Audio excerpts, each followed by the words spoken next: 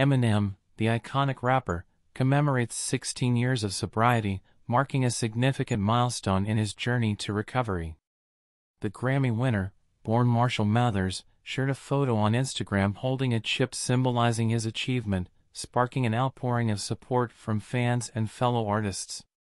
Overcoming a near-fatal drug overdose in 2007, Eminem's commitment to sobriety was fueled by a newfound appreciation for life and the support of his children. He attributes his success to replacing addiction with healthy habits like exercise, highlighting the transformative power of positive choices. Thanks for watching.